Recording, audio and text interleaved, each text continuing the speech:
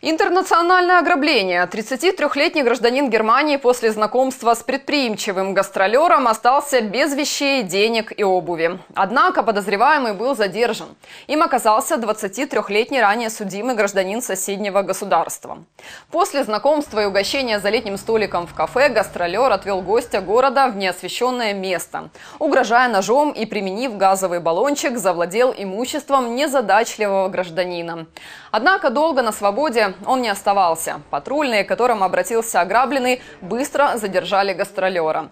Потерпевший узнал своего обидчика. В отношении последнего начато уголовное производство по признакам преступления, предусмотренного частью 2 статьи 187 Уголовного кодекса Украины «Разбой». Грабителю грозит от 7 до 10 лет лишения свободы с конфискацией имущества.